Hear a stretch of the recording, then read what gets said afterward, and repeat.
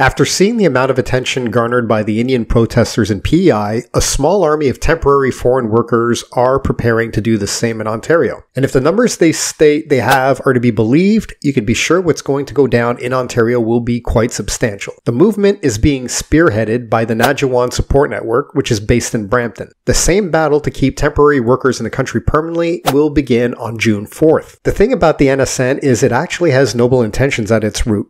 The organization was created to stop the exploitation of temporary foreign workers, which is more than fair. But here's the kicker. Pretty much all of the businesses they go after for unpaid wages or illegally low wages happen to be owned by members of their own community. After seeing how their colleagues fared in PEI, the NSN now believes it can succeed where they fell short. And given who's bankrolling them, I can't say they're wrong. This month, one of the NSN's members, Lovepreet Singh, was brought in to speak at a convention for one of the most powerful unions in the country. The people who are backing the NSN's movement is CUPE. CUPE is the bane of every level of government in the country. They're one of the very reasons the cost of living in Canada continues going up, and they've been doing that long before the pandemic reared its ugly head. So, why would they have an interest in backing this coming movement? Have you ever seen the kind of money that unions make? The NSN is claiming that up to 70,000 workers will be facing deportation. Now, imagine if CUPE could add those temporary workers to their ranks. We're talking about a fat payday for CUPE. Once again, it's the Canadian taxpayer who's on the hook for someone else's agenda. The Liberals want more TFWs to increase their voter base. You're the one paying for that. Corrupt businesses want more TFWs to cheap out on labor. In doing so, they're screwing Canadian taxpayers twice in the process. And now, CUPE wants a piece of the exploitation pie as well, and you're the one who's going to pay for it. So, what are your ideas or solutions to this problem?